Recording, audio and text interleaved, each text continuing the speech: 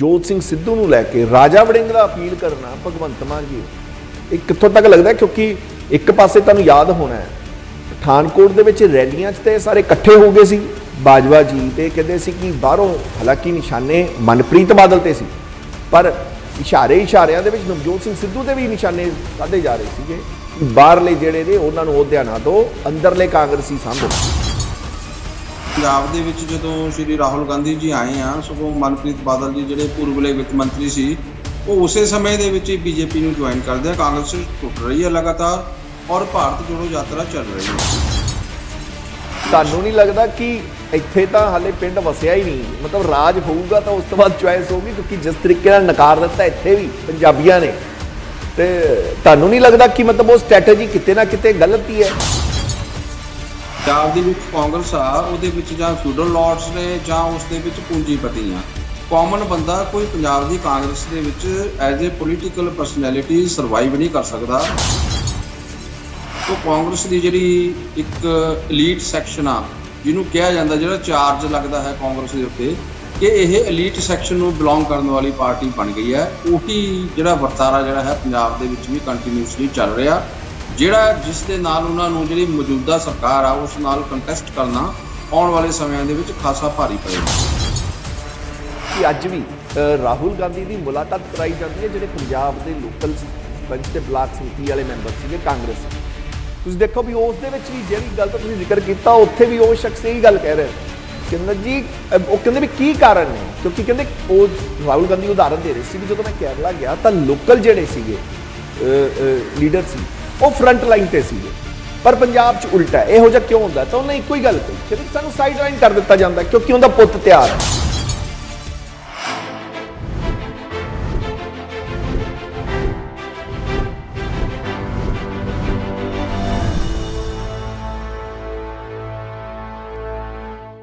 ਸਤਿ ਸ੍ਰੀ ਅਕਾਲ। ਮੈਂ ਹਾਂ ਸੁਰਿੰਦਰ ਸਿੰਘ ਤੇ ਤੁਸੀਂ ਵੇਖ ਰਹੇ ਹੋ ਨਜ਼ਰੀਆ ਬਿਉਣ ਦਾਵੇ ਜੀ ਹਾਂ, ਅੱਜ ਗੱਲ ਕਰਾਂਗੇ ਕਾਂਗਰਸ ਦੀ। ਕਿਉਂਕਿ ਦੋ ਖਬਰਾਂ ਕਾਂਗਰਸ ਨਾਲ ਜੁੜੀਆਂ ਹੋਈ ਨਜ਼ਰ ਆਈਆਂ। ਰਾਜਾ ਵੜਿੰਗ ਰਾਜਾ ਵੜਿੰਗ ਨੇ ਪਹਿਲਾਂ ਤਾਂ ਅਪੀਲ ਕੀਤੀ ਹੈ, ਅਪੀਲ ਮੁੱਖ ਮੰਤਰੀ ਭਗਵੰਤ ਮਾਨ ਨੂੰ ਕਿ ਨਵਜੋਤ ਸਿੰਘ ਸਿੱਧੂ ਦੀ ਰਿਹਾਈ ਨੂੰ ਲੈ ਕੇ ਕੋਈ ਸਿਆਸਤ ਨਾ ਕੀਤੀ ਜਾਏ। ਤੇ ਦੂਜੇ ਪਾਸੇ ਪਰਨੀਤ ਕੌਰ ਨੂੰ ਲੈ ਕੇ ਵੀ ਉਹਨਾਂ ਨੇ ਬਿਆਨ ਦਿੱਤਾ। ਤੇ ਉਧਰ ਕੱਲ ਪਾਰਟੀ ਵੱਲੋਂ ਮੁਅੱਤਲ ਕੀਤੇ ਜਾਣ ਤੋਂ ਬਾਅਦ ਤੇ ਕਾਰਨ ਦੱਸੋ ਨੋਟਿਸ ਤੋਂ ਬਾਅਦ ਪਰਨੀਤ ਕੌਰ ਵੀ ਅੱਜ ਪਹਿਲੀ ਵਾਰ ਕੈਮਰੇ ਸਾਹਮਣੇ ਬੋਲੇ। ਕੀ ਕੁਝ ਉਹਨਾਂ ਨੇ ਕਿਹਾ? ਪਹਿਲਾਂ ਆਓ ਤੁਹਾਨੂੰ ਉਹ ਸੁਣਾ ਦਿੰਦੇ ਜਿਹੜਾ ਮੈਨੂੰ ਸ਼ੋਕੋਜ਼ ਨੋਟਿਸ ਭੇਜਿਆ ਹੈ ਪਾਰਟੀ ਵੱਲੋਂ ਮੈਂ ਤਾਂ ਇਹਨਾਂ ਕਹਿਣਾ ਚਾਹੁੰਦੀ ਹਾਂ ਮੈਂ ਤਾਂ ਇਹਨਾਂ ਕਹਿਣਾ ਚਾਹੁੰਦੀ ਹਾਂ ਕਿ ਪਾਰਟੀ ਦਾ ਪੂਰਾ ਹੱਕ ਹੈ ਜੋ ਮਰਜ਼ੀ ਕਰਨ। ਮੈਂ ਆਪਣੇ ਖੇਤਰ ਦੇ ਵਿੱਚ ਔਰ ਪੰਜਾਬ ਦੇ ਲਈ ਜੋ ਮੇਰੇ ਕੋਲ ਜ਼ਿੰਮੇਵਾਰੀ ਥੀ ਮੈंने ਆਪਣੀ ਪੂਰੀ ਕੋਸ਼ਿਸ਼ ਕਰਕੇ ਨਿਭਾਈ ਹੈ ਔਰ ਨਿਭਾਈ ਜਾਊਂਗੀ ਔਰ ਅੱਗੇ ਨੂੰ ਵੀ ਜੋ ਵੀ ਮੇਰੇ ਖੇਤਰ ਦੇ ਲਈ ਕੰਮ ਕਰਨਾ ਹੋਊਗਾ ਮੈਂ ਕਰਦੀ ਰਹੂੰਗੀ। ਮੈਡਮ ਨੋਟਿਸ ਦਾ ਕੋਈ ਜਵਾਬ ਦਿਓਗੇ? ਨੋਟਿਸ ਜਿਹੜਾ ਆਇਆ ਉਹਦਾ ਜਵਾਬ ਦਿੱਤਾ ਜਾਏਗਾ। ਉਹ ਤੁਹਾਨੂੰ ਟਾਈਮ ਤੇ ਪਤਾ ਚੱਲ ਜਾਏਗਾ। ਦੱਸ ਦੂੰਗੀ। ਫਿਰ ਮਤਲਬ ਕਿ ਜਿਹੜੇ ਹੈਗੇ ਕਾਂਗਰਸ ਕਾਂਗਰਸ ਦੇ ਵਿੱਚ ਦੇਖੋ ਮੈंने ਕਿਹਾ ਜੋ। ਜੋ ਪਾਰਟੀ ਜੋ ਪਾਰਟੀ ਨੇ ਕਰਨਾ ਹੈ ਉਹਨਾਂ ਨੂੰ ਕਰਨ ਦਿਓ। ਉਹਦੇ ਬਾਅਦ ਤੁਹਾਨੂੰ ਜਵਾਬ ਦਊਂਗੀ। ਬਿਲਕੁਲ ਕਹਿੰਦੇ ਕਿ ਜੋ ਪਾਰਟੀ ਨੇ ਕਰਨਾ ਉਹਨਾਂ ਨੂੰ ਕਰਨ ਦਿਓ। ਉਸ ਤੋਂ ਬਾਅਦ ਮੈਂ ਜਵਾਬ ਦਾਂਗੀ। ਖੈਰ ਹੁਣ ਅੱਜ ਇਹਨਾਂ ਮੁੱਦਿਆਂ ਤੇ ਚਰਚਾ ਕਰਨ ਲਈ ਸਾਡੇ ਨਾਲ ਜੁੜਨਗੇ ਪ੍ਰੋਫੈਸਰ ਜਗਮੋਹਨ ਸਿੰਘ ਜੀ। ਬੁੱਧੀਜੀਵੀ ਆਓ ਉਹਨਾਂ ਦਾ ਪਹਿਲਾਂ ਸਵਾਗਤ ਕਰ ਲੈਂਦੇ ਹਾਂ। ਸਤਿ ਸ਼੍ਰੀ ਅਕਾਲ ਜਗਮੋਹਨ ਸਿੰਘ। ਧੰਨਵਾਦ ਸਰ। ਧੰਨਵਾਦ ਸਰ। ਕਿਵੇਂ ਦੇਖਦੇ ਹੋ ਜਗਮੋਹਨ ਸਿੰਘ ਜੀ ਵੀ ਕਿਉਂਕਿ ਪਹਿਲਾਂ ਆਪਾਂ ਪਹਿਲੀ ਖਬਰ ਵਾਲੀ ਅਗਰ ਰੁਕ ਕਰੀਏ ਕਿ ਨਵਜੋਤ ਸਿੰਘ ਸਿੱਧੂ ਨੂੰ ਲੈ ਕੇ ਰਾਜਾ ਵੜਿੰਗ ਦਾ ਅਪੀਲ ਕਰਨਾ ਭਗਵੰਤ ਮਾਨ ਜੀ ਨੂੰ ਇਹ ਕਿੱਥੋਂ ਤੱਕ ਲੱਗਦਾ? ਕਿਉਂਕਿ ਇੱਕ ਪਾਸੇ ਤੁਹਾਨੂੰ ਯਾਦ ਹੋਣਾ ਹੈ ਪਠਾਨਕੋਟ ਦੇ ਵਿੱਚ ਰੈਲੀਆਂ 'ਚ ਤੇ ਸਾਰੇ ਇਕੱਠੇ ਹੋ ਗਏ ਸੀ। ਬਾਜਵਾ ਜੀ ਤੇ ਕਹਿੰਦੇ ਸੀ ਕਿ ਬਾਹਰੋਂ ਹਾਲਾਂਕਿ ਨਿਸ਼ਾਨੇ ਮਨਪ੍ਰੀਤ ਬਾਦਲ ਤੇ ਸੀ ਪਰ ਇਸ਼ਾਰੇ ਇਸ਼ਾਰਿਆਂ ਦੇ ਵਿੱਚ ਨਵਜੋਤ ਸਿੰਘ ਸਿੱਧੂ ਦੇ ਵੀ ਨਿਸ਼ਾਨੇ ਸਾਧੇ ਜਾ ਰਹੇ ਸੀਗੇ ਕਿ ਬਾਹਰਲੇ ਜਿਹੜੇ ਨੇ ਉਹਨਾਂ ਨੂੰ ਅਹੁਦਿਆਂ ਨਾ ਦਿਓ ਅੰਦਰਲੇ ਕਾਂਗਰਸੀ ਸਾਂਭੋ। ਜੀ। ਦੇਖੋ ਸੁਰਿੰਦਰ ਸਿੰਘ ਜੀ ਗੱਲ ਇਹ ਹੈਗੀ ਆ ਕਿ ਭਾਰਤ ਜੋੜੋ ਯਾਤਰਾ ਦਾ ਜ਼ਰੂਰ ਦੇਖੀ ਗਈ ਹੈ ਕਸ਼ਮੀਰ ਤੋਂ ਲੈ ਕੇ ਕੰਨਿਆ ਕੁਮਾਰੀ ਤੱਕ ਪਰ ਉਹਦੇ ਵਿੱਚ ਕਾਂਗਰਸ ਜੋੜੋ ਯਾਤਰਾ ਨਜ਼ਰ ਨਹੀਂ ਆਈ ਕਿਤੇ। ਬਲਕਿ ਬਹੁਤੀ ਵਾਰੀ ਤਾਂ ਇਹ ਹੋਇਆ ਕਿ ਪੰਜਾਬ ਦੇ ਵਿੱਚ ਜਦੋਂ ਸ਼੍ਰੀ ਰਾਹੁਲ ਗਾਂਧੀ ਜੀ ਆਏ ਆ, ਸਗੋਂ ਮਨਪ੍ਰੀਤ ਬਾਦਲ ਜੀ ਜਿਹੜੇ ਪੂਰਬਲੇ ਵਿੱਤ ਮੰਤਰੀ ਸੀ, ਉਹ ਉਸੇ ਸਮੇਂ ਦੇ ਵਿੱਚ ਹੀ ਬੀਜੇਪੀ ਨੂੰ ਜੁਆਇਨ ਕਰਦੇ ਆ। ਕਾਂਗਰਸ ਟੁੱਟ ਰਹੀ ਹੈ ਲਗਾਤਾਰ ਔਰ ਭਾਰਤ ਜੋੜੋ ਯਾਤਰਾ ਚੱਲ ਰਹੀ ਹੈ ਭਾਰਤ ਜੋੜੋ ਯਾਤਰਾ ਤਾਂ ਚਲੋ ਚੰਗੀ ਗੱਲ ਹੈ ਪਰ ਕਾਂਗਰਸ ਤੋੜੋ ਜਾਂ ਕਾਂਗਰਸ ਦਾ ਟੁੱਟ ਜਾਣਾ, ਇਹ ਕੋਈ ਡੈਮੋਕ੍ਰੇਸੀ ਦੇ ਲਈ, ਪੰਜਾਬ ਦੇ ਲਈ ਔਰ ਹਿੰਦੁਸਤਾਨ ਦੇ ਲਈ ਕੋਈ ਜ਼ਿਆਦਾ ਅੱਛੀ ਗੱਲ ਨਹੀਂ ਹੈ। ਤੋਂ ਸਭ ਤੋਂ ਪਹਿਲੀ ਗੱਲ ਤਾਂ ਇਹ ਹੈਗੀ ਆ ਕਿ ਜਿਹੜੀ ਗੁੱਟਬੰਦੀ ਆ ਕਾਂਗਰਸ ਦੀ ਉਹ ਚਾਹੇ ਜ਼ਾਹਰਾ ਤੌਰ ਤੇ ਭਾਵੇਂ ਲੁਕਵੇਂ ਤੌਰ ਦੇ ਉੱਤੇ ਉਹ ਐਗਜ਼ਿਸਟ ਕਰਦੀ ਹੋ ਕਰਦੀ ਹੈ। ਜਿੰਨੀ ਦੇਰ ਤੱਕ ਕਿਸੇ ਵੀ ਪੋਲੀਟੀਕਲ ਪਾਰਟੀ ਦੇ ਵਿੱਚ ਅੰਦਰੂਨੀ ਗੁੱਟਬੰਦੀ ਹੋਏਗੀ, ਉਹ ਪਾਰਟੀ ਜਿਹੜੀ ਆ ਤਾਕਤਵਰ ਹੋ ਕੇ ਇਲੈਕਸ਼ਨਸ ਦੇ ਵਿੱਚ, ਚੋਣਾਂ ਦੇ ਵਿੱਚ ਸਾਹਮਣੇ ਆ ਨਹੀਂ ਸਕਦੀ। ਹੁਣ ਇਹ ਟੁੱਟ-ਫੁੱਟ ਜਿਹੜੀ ਹੈ ਜਾਂ ਗੁੱਟਬੰਦੀ ਜਿਹੜੀ ਹੈ, ਇਹ ਕੇਵਲ ਕੋਈ ਪਰਸਨੈਲਿਟੀ ਕਲੈਸ਼ਸ ਨੇ ਜਾਂ ਕਾਂਗਰਸ ਦੀ, ਰਾਸ਼ਟਰੀ ਕਾਂਗਰਸ ਦੀ ਕੋਈ ਅੰਦਰੂਨੀ ਨੀਤੀ ਹੈ ਸ਼ੁਰੂ ਤੋਂ। ਕਿ ਕੁਝ ਕੋਈ ਨਾ ਕੋਈ ਗਰੁੱਪ ਜਿਹੜੇ ਆਪਸ ਦੇ ਵਿੱਚ ਬਣਾ ਕੇ ਰੱਖੇ ਜਾਣ ਤਾਂ ਕਿ ਕੇਂਦਰੀ ਜਿਹੜੀ ਜਿਹੜੀ ਉਹਨਾਂ ਦੀ ਆਪਣੀ ਇੰਡੀਅਨ ਨੈਸ਼ਨਲ ਕਾਂਗਰਸ ਆ ਉਹ ਸਟਰੋਂਗ ਰਹੇ ਤੇ ਰਾਜਾਂ ਦੀ ਜਿਹੜੀ ਕਾਂਗਰਸ ਹੈਗੀ ਆ ਉਹਨਾਂ ਦੇ ਉੱਤੇ ਦਾਰੋਮਦਾਰ ਤੇ ਨਿਰਭਰ ਰਹੇ ਜਿਸ ਨੂੰ ਉਹ ਚਾਹਣਗੇ ਉਸ ਨੂੰ ਜਿਹੜਾ ਹੈਗਾ ਰਾਜ ਦੇ ਵਿੱਚ ਵਰਚਸਵ ਜਿਹੜਾ ਹੈ ਪ੍ਰਾਪਤ ਹੋਏਗਾ। So is it the central policy of the Indian National Congress Jagmohan ji, ਇਸ ਦੇ ਵਿੱਚ ਪਰਸਨੈਲਿਟੀ ਕਲੈਸ਼ ਆਪਸ ਦੇ ਵਿੱਚ? ਤੁਹਾਨੂੰ ਨਹੀਂ ਲੱਗਦਾ ਕਿ ਇੱਥੇ ਤਾਂ ਹਾਲੇ ਪਿੰਡ ਵਸਿਆ ਹੀ ਨਹੀਂ। ਮਤਲਬ ਰਾਜ ਹੋਊਗਾ ਤਾਂ ਉਸ ਤੋਂ ਬਾਅਦ ਚੁਆਇਸ ਹੋਊਗੀ ਕਿਉਂਕਿ ਜਿਸ ਤਰੀਕੇ ਨਾਲ ਨਕਾਰ ਦਿੱਤਾ ਇੱਥੇ ਵੀ ਪੰਜਾਬੀਆਂ ਨੇ। ਤੇ ਤੁਹਾਨੂੰ ਨਹੀਂ ਲੱਗਦਾ ਕਿ ਮਤਲਬ ਉਹ ਸਟ੍ਰੈਟਜੀ ਕਿਤੇ ਨਾ ਕਿਤੇ ਗਲਤ ਹੀ ਹੈ? ਕਿਉਂਕਿ ਤੁਹਾਨੂੰ ਰੂਟ ਲੈਵਲ ਤੇ ਲੋਕਲ ਲੀਡਰਸ ਇਕੱਠੇ ਜੀ। ਨਕਾਰਨਾ ਤੁਸੀਂ ਬਿਲਕੁਲ ਠੀਕ ਕਿਹਾ ਲੇਕਿਨ ਉਸ ਨਕਾਰਨ ਤੋਂ ਬਾਅਦ ਵੀ ਪੰਜਾਬ ਦੀ ਕਾਂਗਰਸ ਨੇ ਕੋਈ ਜ਼ਿਆਦਾ ਕੁਝ ਨਹੀਂ ਸਿੱਖਿਆ। ਪੰਜਾਬ ਦੀ ਜਿਹੜੀ ਕਾਂਗਰਸ ਆ ਉਹਦੇ ਵਿੱਚ ਜਾਂ ਫਿਊਡਲ ਲਾਰਡਸ ਨੇ ਜਾਂ ਉਸ ਦੇ ਵਿੱਚ ਪੂੰਜੀਪਤੀ ਆ ਕਾਮਨ ਬੰਦਾ ਕੋਈ ਪੰਜਾਬ ਦੀ ਕਾਂਗਰਸ ਦੇ ਵਿੱਚ as a political personality survive ਨਹੀਂ ਕਰ ਸਕਦਾ, ਨਾ ਹੀ ਉਹਨਾਂ ਨੇ ਕੀਤਾ। ਚਾਹੀਦਾ ਤਾਂ ਹੁਣ ਇਹ ਸੀ ਕਿ ਜਿਹੜੇ ਪੁਰਾਣੇ ਕਾਂਗਰਸੀ ਜਿਹੜੇ ਹੈਗੇ ਆ, ਮੰਨ ਲਓ, ਉਹ ਹੌਲੀ ਹੌਲੀ ਜਿਹੜੇ ਆਪਣੀ ਏਜ ਦੇ ਨਾਲ ਪੈਸਿਵ ਹੁੰਦੇ ਜਾ ਰਹੇ ਹਨ ਨਵੀਂ ਕਾਂਗਰਸ ਦੇ ਵਿੱਚ ਕੋਈ ਆਮ ਬੰਦੇ ਜਿਹੜੇ ਹੈਗੇ ਆ, ਜਿਹੜੇ ਪੁਰਾਣਾ ਜਿਵੇਂ ਗਾਂਧੀਵਾਦੀ ਵਰਕਰ ਸੀਗੇ ਜਾਂ ਹੋਰ ਇਸ ਤਰ੍ਹਾਂ ਨੀਚੇ ਜ਼ਮੀਨੀ ਹਕੀਕਤਾਂ ਦੇ ਨਾਲ ਜੁੜ ਰਹੇ ਲੋਕ ਸੀ, ਉਹਨਾਂ ਨੂੰ ਕਾਂਗਰਸ ਦੇ ਵਿੱਚ ਉੱਚੇ ਸਥਾਨਾਂ ਦੇ ਉੱਤੇ ਲਿਆਂਦਾ ਜਾਂਦਾ, ਲੇਕਿਨ ਐਸਾ ਹੋ ਨਹੀਂ ਰਿਹਾ। ਤੋਂ ਕਾਂਗਰਸ ਦੀ ਜਿਹੜੀ ਇੱਕ 엘ੀਟ ਸੈਕਸ਼ਨ ਆ ਜਿਹਨੂੰ ਕਿਹਾ ਜਾਂਦਾ ਜਿਹੜਾ ਚਾਰਜ ਲੱਗਦਾ ਹੈ ਕਾਂਗਰਸ ਦੇ ਉੱਤੇ ਕਿ ਇਹ 엘ੀਟ ਸੈਕਸ਼ਨ ਨੂੰ ਬਿਲੋਂਗ ਕਰਨ ਵਾਲੀ ਪਾਰਟੀ ਬਣ ਗਈ ਹੈ। ਉਹੀ ਜਿਹੜਾ ਵਰਤਾਰਾ ਜਿਹੜਾ ਹੈ ਪੰਜਾਬ ਦੇ ਵਿੱਚ ਵੀ ਕੰਟੀਨਿਊਸਲੀ ਚੱਲ ਰਿਹਾ। ਜਿਹੜਾ ਜਿਸ ਦੇ ਨਾਲ ਉਹਨਾਂ ਨੂੰ ਜਿਹੜੀ ਮੌਜੂਦਾ ਸਰਕਾਰ ਆ ਉਸ ਨਾਲ ਕੰਟੈਸਟ ਕਰਨਾ ਆਉਣ ਵਾਲੇ ਸਮਿਆਂ ਦੇ ਵਿੱਚ ਖਾਸਾ ਭਾਰੀ ਪਏਗਾ। ਸੁਰਿੰਦਰ ਜੀ। ਬਿਲਕੁਲ ਅ, ਜਗਮੋਹਨ ਜੀ ਗੱਲ ਤੁਹਾਡੀ ਵਾਜਬ ਹੈ ਕਿਉਂਕਿ ਅੱਜ ਵੀ ਰਾਹੁਲ ਗਾਂਧੀ ਦੀ ਮੁਲਾਕਾਤ ਕਰਾਈ ਜਾਂਦੀ ਹੈ, ਜਿਹੜੇ ਪੰਜਾਬ ਦੇ ਲੋਕਲ ਸਰਪੰਚ ਤੇ ਬਲਾਕ ਸਮਿਤੀ ਵਾਲੇ ਮੈਂਬਰ ਸੀਗੇ, ਕਾਂਗਰਸੀ ਤੁਸੀਂ ਦੇਖੋ ਵੀ ਉਸ ਦੇ ਵਿੱਚ ਵੀ ਜਿਹੜੀ ਗੱਲ ਦਾ ਤੁਸੀਂ ਜ਼ਿਕਰ ਕੀਤਾ, ਉੱਥੇ ਵੀ ਉਹ ਸ਼ਖਸ ਇਹੀ ਗੱਲ ਕਹਿ ਰਿਹਾ ਸੀ। ਕਹਿੰਦਾ ਜੀ ਉਹ ਕਹਿੰਦੇ ਵੀ ਕੀ ਕਾਰਨ ਨੇ? ਕਿਉਂਕਿ ਕਹਿੰਦੇ ਉਹ ਰਾਹੁਲ ਗਾਂਧੀ ਉਦਾਹਰਨ ਦੇ ਰਹੇ ਸੀ ਵੀ ਜਦੋਂ ਮੈਂ ਕੇਰਲਾ ਗਿਆ ਤਾਂ ਲੋਕਲ ਜਿਹੜੇ ਸੀਗੇ ਲੀਡਰ ਸੀ, ਉਹ ਫਰੰਟ ਲਾਈਨ ਤੇ ਸੀਗੇ। ਪਰ ਪੰਜਾਬ 'ਚ ਉਲਟਾ ਇਹੋ ਜਿਹਾ ਕਿਉਂ ਹੁੰਦਾ? ਤਾਂ ਉਹਨੇ ਇੱਕੋ ਹੀ ਗੱਲ ਕਹੀ। ਕਹਿੰਦੇ ਕਿ ਸਾਨੂੰ ਸਾਈਡ ਲਾਈਨ ਕਰ ਦਿੱਤਾ ਜਾਂਦਾ ਹੈ ਕਿਉਂਕਿ ਉਹਦਾ ਪੁੱਤ ਤਿਆਰ ਹੈ। ਉਹਨੂੰ ਅਸੀਂ ਵਰਕਰ ਹੀ ਰਹਿਣਾ ਹੈ। ਅੱਜ ਕਾਂਗਰਸ ਨਾਲ ਐਜ਼ ਅ ਵਰਕਰ ਜੁੜੇ ਆ ਤਾਂ ਐਜ਼ ਅ ਵਰਕਰ ਹੀ ਅਸੀਂ ਖਤਮ ਹੋ ਜਾਣਾ ਜਾਂ ਤਾਂ ਜਾਂ ਤਾਂ ਪਾਰਟੀ ਬਦਲ ਲਈਏ।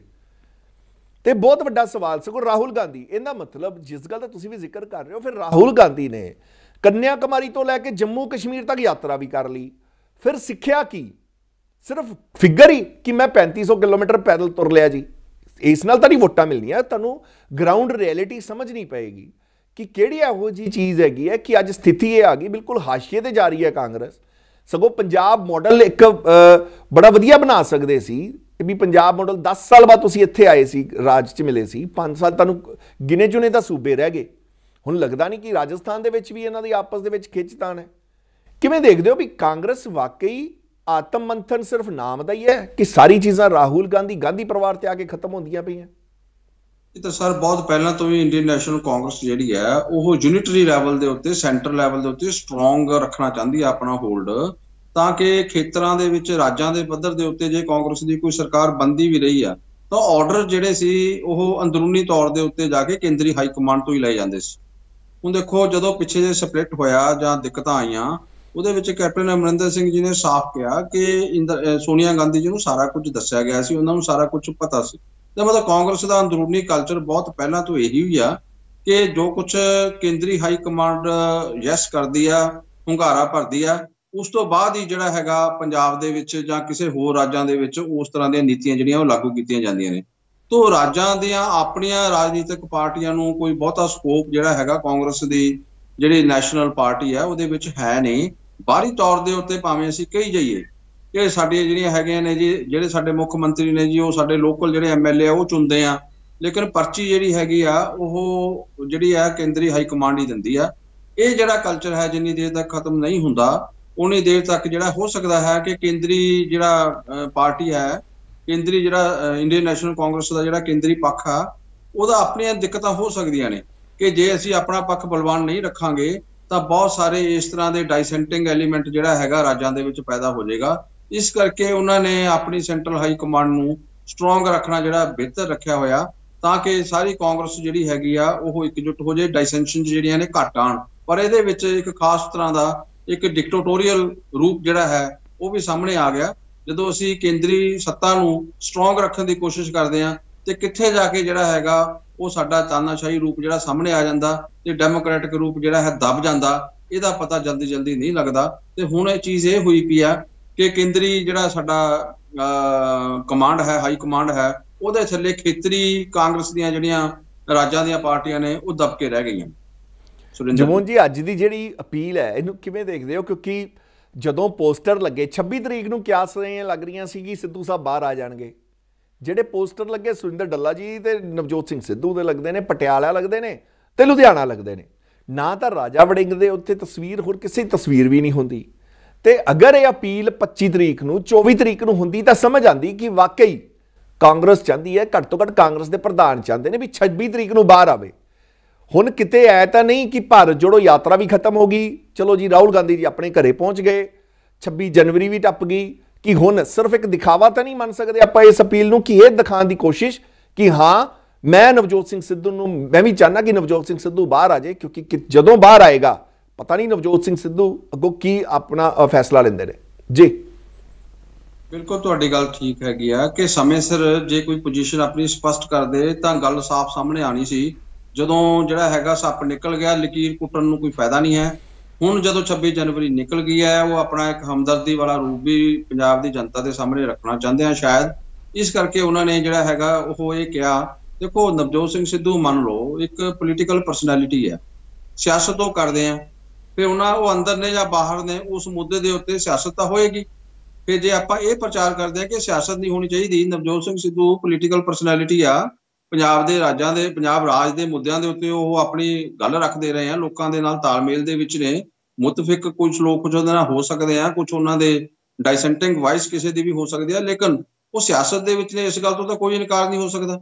ਤੇ ਜੇ ਕੋਈ ਵੀ ਹੋਰ ਪਾਰਟੀ, ਚਾਹੇ ਉਹ ਬੀਜੇਪੀ ਆ, ਚਾਹੇ ਕਾਂਗਰਸ ਆ, ਮੈਂ ਇਹ ਕਹਿ ਰਿਹਾ ਕਿ ਅਗਰ ਉਹ ਪੋਲੀਟੀਕਲ ਬੰਦੇ ਆ, ਸਿਆਸਤ ਕਰਦੇ ਆ, ਜੇ ਉਹਦੇ ਵਿੱਚ ਕਿਸੇ ਪਾਰਟੀ ਨੇ ਉਹਨਾਂ ਦੀ ਜਿਹੜੀ ਹੈ ਰਿਹਾਈ ਦੇ ਉੱਤੇ ਕੋਈ ਕਮੈਂਟ ਪਾਸ ਕੀਤਾ, ਕੋਈ ਵਿਸ਼ਲੇਸ਼ਣ ਕੀਤਾ, ਚਾਹੇ ਉਹ ਸ਼੍ਰੋਮਣੀ ਅਕਾਲੀ ਦਲ ਆ, ਕਾਂਗਰਸ ਆ, ਚਾਹੇ ਉਹ ਆਪਣਾ ਆਮ ਆਦਮੀ ਪਾਰਟੀ ਆ, ਚਾਹੇ ਉਹ ਜਿਹੜੀ ਹੈਗੀ ਬੀਜੇਪੀ ਆ, ਤਾਂ ਇਸ ਦੇ ਵਿੱਚ ਜਿਹੜੀ ਹੈ ਸਿਆਸਤ ਨਹੀਂ ਕਰਨੀ ਚਾਹੀਦੀ, ਕੀ ਤਰਕ ਆ? ਲੋਕ ਇਹ ਜਾਣਨਾ ਤਾਂ ਚਾਹੁੰਦੇ ਆ ਵੀ ਅਗਰ 26 ਜਨਵਰੀ ਨੂੰ ਉਹਨਾਂ ਦੀ ਰਿਹਾਈ ਦਾ ਕੋਈ ਜਿਹੜੀ ਸੀ ਇੱਕ ਇੱਕ ਆਸ਼ਾ ਸੀ, ਤਾਂ ਉਹ ਕਿਉਂ ਨਹੀਂ ਹੋ ਸਕੀ? ਕੌਣ ਜ਼ਿੰਮੇਵਾਰ ਆ ਉਸ ਦੇ ਲਈ ਇਸ ਵਿੱਚ ਤਾਂ ਕੋਈ ਸਿਆਸਤ ਦੀ ਗੱਲ ਨਹੀਂ ਹੈ। ਤਾਂ ਮੈਨੂੰ ਨਹੀਂ ਕੋਈ ਤੱਕ ਜਾਪਦਾ ਇਸ ਦੇ ਵਿੱਚ ਕਿ ਨਵਜੋਤ ਸਿੰਘ ਸਿੱਧੂ ਦੇ ਰਿਹਾਈ ਦੇ ਉੱਤੇ ਕੋਈ ਸਿਆਸਤ ਜਿਹੜੀ ਆ ਉਹ ਨਹੀਂ ਹੋਣੀ ਚਾਹੀਦੀ। ਸਿਆਸਤ ਦਾ ਬੰਦਾ ਸਿਆਸਤ ਕਰਦਾ। ਅਗਰ ਉਹਦੀ ਰਿਹਾਈ ਦੇ ਉੱਤੇ ਕੋਈ ਮੁੱਦਾ ਬਣਿਆ, ਉਹ ਡਿਸਕਸ ਹੋਣਾ ਚਾਹੀਦਾ। ਸੁਰਿੰਦਰ ਜੀ। ਤੇ ਉਧਰ ਪ੍ਰਨੀਤ ਕੌਰ ਜੀ ਬਾਰੇ ਤੁਹਾਡੇ ਕੀ ਵਿਚਾਰ ਨੇ? ਕੀ ਵਾਕਈ ਰਾਹੁਲ ਗਾਂਧੀ ਜਾਂ ਗਾਂਧੀ ਪਰਿਵਾਰ ਨੂੰ ਜਾਂ ਕਾਂਗਰਸ ਨੂੰ ਇਹ ਉਮੀਦ ਸੀ ਕਿ ਭਾਰਤ ਜੋੜੋ ਯਾਤਰਾ 'ਚ ਪ੍ਰਨੀਤ ਕੌਰ ਜੀ ਸ਼ਿਰਕਤ ਕਰਨਗੇ ਕਿ ਜਿਹੜੀ ਇੰਨੀ ਦੇਰੀ ਲਾਈ ਗਈ ਕਿ ਉਹਨਾਂ ਨੂੰ ਬਾਹਰ ਦਾ ਰਸਤਾ ਦਿਖਾਉਣ ਲਈ ਵੀ ਇੰਨੀ ਦੇਰ ਬਾਅਦ ਹੀ ਕਾਰਨ ਦੱਸੋ ਨੋਟਿਸ ਕਿਉਂ? ਕਿਉਂਕਿ ਉਹਨਾਂ ਦੇ ਘਰ ਵਾਲੇ ਕੈਪਟਨ ਅਮਰਿੰਦਰ ਸਿੰਘ ਉਹ ਭਾਜਪਾ 'ਚ ਸ਼ਾਮਲ ਹੁੰਦੇ ਨੇ ਬੱਚੇ ਦੋਨੋਂ ਭਾਜਪਾ ਸ਼ਾਮਲ ਹੁੰਦੇ ਨੇ ਸਿਰਫ ਪ੍ਰਨੀਤ ਕੌਰ ਕਾਂਗਰਸ ਨਹੀਂ ਛੱਡਦੇ ਤੇ ਨਾ ਕਾਂਗਰਸ ਪ੍ਰਨੀਤ ਕੌਰ ਨੂੰ ਜਵਾਬ ਦਿੰਦੀ ਹੈ। ਤੇ ਆਖਰਕਾਰ ਭਾਰਤ ਜੋੜੋ ਯਾਤਰਾ ਕੀ ਉਮੀਦਾਂ ਮਤਲਬ ਇੰਨੀਆਂ ਕਿ ਜ਼ਿਆਦਾ ਸੀਗੀਆਂ ਕਾਂਗਰਸ ਨੂੰ ਕਿ ਨਹੀਂ, ਕਿਤੇ ਸ਼ਾਇਦ ਵਾਪਸੀ ਹੋ ਜਾਏਗੀ? ਇਹਦੇ ਲਈ ਆਪਾਂ ਨੂੰ ਥੋੜਾ ਜਿਹਾ 2021 ਦੇ ਵਿੱਚ ਜਾਣਾ ਪਏਗਾ, ਕਿਉਂਕਿ ਇਸ ਪਰਿਵਾਰ ਦੇ, ਇਹ ਕੇਵਲ ਰਾਜਨੀਤਿਕ ਤੌਰ ਦੇ ਉੱਤੇ ਕਾਂਗਰਸ ਦੇ ਨਾਲ ਨਹੀਂ ਸੀ ਜੁੜਿਆ ਹੋਇਆ। ਕੁਝ ਨਿੱਜੀ ਤੌਰ ਦੇ ਉੱਤੇ ਵੀ ਜਿਹੜੀ ਸੋਨੀਆ ਗਾਂਧੀ ਦੀ ਫੈਮਿਲੀ ਨਾਲ, ਇੰਦਰਾ ਗਾਂਧੀ ਦੀ ਫੈਮਿਲੀ ਨਾਲ ਰਾਜੀਵ ਗਾਂਧੀ ਜੀ ਦੇ ਨਾਲ, ਨਿੱਜੀ ਤੌਰ ਦੇ ਉੱਤੇ ਵੀ ਉਹਨਾਂ ਦੇ ਬਹੁਤ ਕਲੋਜ਼ ਰਿਲੇਸ਼ਨਸ਼ਿਪ ਦੇ ਵਿੱਚ ਉਹਦੀ ਇਹ ਫੈਮਿਲੀ ਲੰਘਦੀ ਰਹੀ ਆ। ਇਸ ਕਰਕੇ ਉਹਨਾਂ ਨੂੰ ਸ਼ਾਇਦ ਇਹ ਲੱਗਦਾ ਨਹੀਂ ਸੀਗਾ ਕਿ ਇੰਨੀ ਜਿਹੜੀ ਹੈਗੀ ਆ ਇਨਡੀਸੈਂਸੀ ਜਿਹੜੀ ਹੈਗੀ ਆ, ਉਹ ਉਹਨਾਂ ਨੂੰ ਕੈਪਟਨ ਅਮਰਿੰਦਰ ਸਿੰਘ ਜੀ ਦਾ ਜਿਹੜਾ ਹੈਗਾ ਡਿਸਕਨੈਕਸ਼ਨ ਦੇ ਵਿੱਚ ਦਿਖਾਈ ਜਾਏਗੀ। ਦੋ ਵਾਰ ਜਿਹੜੇ ਉਹਨਾਂ ਨੇ ਪੰਜਾਬ ਦੇ ਵਿੱਚ 2002 ਤੋਂ 2007 ਔਰ 2000 ਆਪਣਾ 17 ਤੋਂ ਲੈ ਕੇ 22 ਤੱਕ ਦਾ ਜਿਹੜਾ ਸਮਾਂ ਸੀ ਥੋੜਾ 2-4 ਮਹੀਨੇ ਆਪਾਂ ਛੱਡ ਦਈਏ, ਕਾਂਗਰਸ ਨੂੰ ਪੰਜਾਬ ਦੇ ਵਿੱਚ ਜਿਹੜੀ ਸੀ, ਉਹ ਜਿੱਤ ਦਿਲਵਾਈ ਸੀ। ਇੱਕ ਨਿੱਜੀ ਕ੍ਰਿਸ਼ਮਾ ਵੀ ਉਸ ਦੇ ਵਿੱਚ ਸਟੈਂਡ ਕਰਦਾ ਸੀ। ਕੇਵਲ ਕਾਂਗਰਸ ਨਹੀਂ ਸੀ ਜਿੱਤੀ। ਕੈਪਟਨ ਅਮਰਿੰਦਰ ਸਿੰਘ ਦਾ ਪਰਸਨਲ ਕ੍ਰਿਸ਼ਮਾ ਵੀ ਜਿਹੜਾ ਸੀ 17 ਤੋਂ 22 ਵਾਲੀ ਜਿਹੜਾ ਫੇਸ ਸੀ, ਉਹਦੇ ਵਿੱਚ ਰਿਹਾ ਸੀ।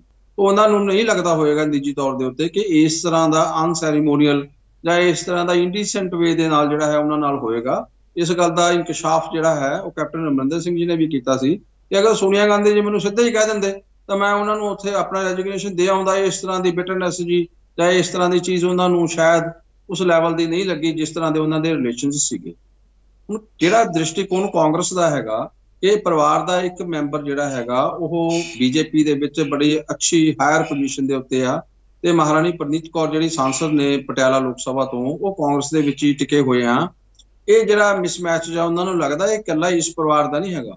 ਤੁਸੀਂ ਦੇਖੋ ਕਿ ਜਿਹੜਾ ਪ੍ਰਤਾਪ ਸਿੰਘ ਬਾਜਵਾ ਜੀ, ਜਿਹੜੇ ਲੀਡਰ ਆਫ ਆਪੋਜੀਸ਼ਨ ਨੇ ਇਸ ਵਿਧਾਨ ਸਭਾ ਦੇ ਵਿੱਚ, ਉਹਨਾਂ ਦਾ ਛੋਟਾ ਭਰਾ ਫਤਿਹ ਜੰਗ ਬਾਜਵਾ, ਜਿਹੜੇ ਇੱਕੋ ਹੀ ਪ੍ਰੈਮਿਸਿਸ ਦੇ ਵਿੱਚ ਰਹਿੰਦੇ ਆ।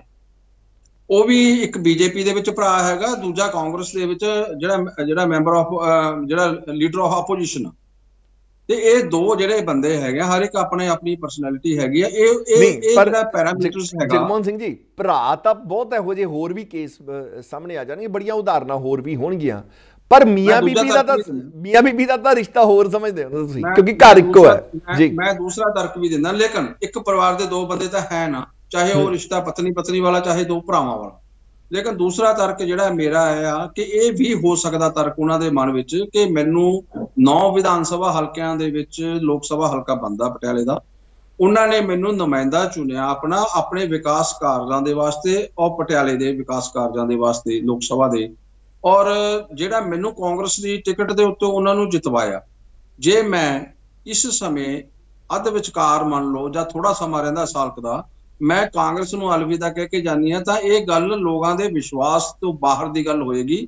ਉਹਨਾਂ ਨੇ ਮੈਨੂੰ ਲੋਕ ਸਭਾ ਦਾ ਨੁਮਾਇੰਦਾ ਬਣਾਇਆ ਔਰ ਉਹ ਵੀ ਕਾਂਗਰਸੀ ਦੀ ਟਿਕਟ ਤੇ ਬਣਾਇਆ। ਮੇਰੇ ਵਿਕਾਸ ਕਾਰਜ ਚੱਲ ਰਹੇ ਆ ਤੇ ਉਹ ਵਿਕਾਸ ਕਾਰਜ ਕਾਫੀ ਪਹਿਲਾਂ ਵੀ ਵਿੱਢੇ ਹੋਏ ਆ ਕੁਝ ਹੁਣ ਵੀ ਪੈਂਡਿੰਗ ਪਏ ਹੋਣਗੇ। ਇਹ ਤਰਕ ਮਹਾਰਾਣੀ ਪ੍ਰਨੀਤ ਕੌਰ ਦਾ ਹੋ ਸਕਦਾ ਕਿ ਉਹ ਚਾਹੁੰਦੇ ਆ ਕਿ ਜਿਹੜੇ ਵਿਕਾਸ ਕਾਰਜ ਮੈਨੇ ਐਜ਼ ਅ ਨੁਮਾਇੰਦਾ ਕਾਂਗਰਸ ਦਾ ਔਰ ਲੋਕ ਸਭਾ ਦਾ ਆਪਣੇ ਇਲਾਕੇ ਦੇ ਵਿੱਚ ਸ਼ੁਰੂ ਕੀਤੇ ਹੋਏ ਆ ਉਹਨਾਂ ਵਿਕਾਸ ਕਾਰਜਾਂ ਨੂੰ ਨੇਪਰੇ ਚਾੜਨ ਦੇ ਲਈ ਤੇ ਲੋਕਾਂ ਨੇ ਕੇਵਲ ਮੈਨੂੰ ਪ੍ਰਨੀਤ ਕੌਰ ਦੇ ਤੌਰ ਦੇ ਉੱਤੇ ਨਹੀਂ ਚੁਣਿਆ, ਉਹਨਾਂ ਨੇ ਮੈਨੂੰ ਕਾਂਗਰਸ ਦੇ ਨੁਮਾਇੰਦੇ ਦੇ ਤੌਰ ਦੇ ਉੱਤੇ ਵੀ ਚੁਣਿਆ। ਇਸ ਕਰਕੇ ਜਿਹੜਾ 5 ਸਾਲ ਦਾ ਵਕਫਾ ਉਹਨਾਂ ਨੇ ਮੈਨੂੰ ਦਿੱਤਾ ਹੈਗਾ, ਉਸ ਵਕਫੇ ਦੇ ਵਿੱਚ ਮੈਨੂੰ ਇਸ ਤਰ੍ਹਾਂ ਦੀ ਜਿਹੜੀ ਹੈਗੀ ਆ ਚੇਂਜ ਜਿਹੜੀ ਹੈਗੀ ਆ, ਉਹ ਸ਼ੋਭਾ ਨਹੀਂ ਦਿੰਦੀ। ਲੋਕਾਂ ਦੇ ਵਿਸ਼ਵਾਸ ਦੇ ਨਾਲ ਵੀ ਇਹ ਫ਼ਰਕ ਹੋ ਸਕਦਾ।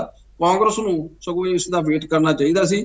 24 ਦੇ ਵਿੱਚ ਜਦੋਂ ਇਲੈਕਸ਼ਨ ਆਉਂਦੀ ਮਹਾਰਾਣੀ ਪ੍ਰਨੀਤ ਕੌਰ ਜਿਹੜੀ ਹੈ, ਉਹ ਪਟਿਆਲੇ ਤੋਂ ਕਾਂਗਰਸ ਲਈ ਅਪਲਾਈ ਕਰਦੇ ਜਾਂ ਨਾ ਕਰਦੇ, ਕਾਂਗਰਸ ਉਹਨਾਂ ਨੂੰ ਟਿਕਟ ਦਿੰਦੀ ਜਾਂ ਨਾ ਦਿੰਦੀ, ਇਹ ਉਸ ਸਮੇਂ ਤੈਅ ਹੋ ਜਾਂਦਾ।